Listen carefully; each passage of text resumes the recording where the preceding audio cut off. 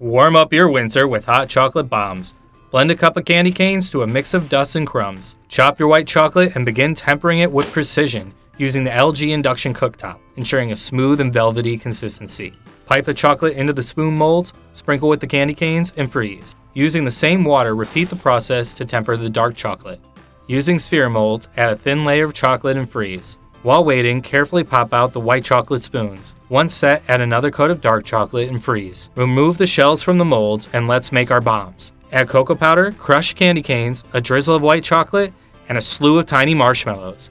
Pipe a bit of chocolate onto the spoon and hold the bomb until it hardens. Now relax, sit back, and sip it next to a warm fire.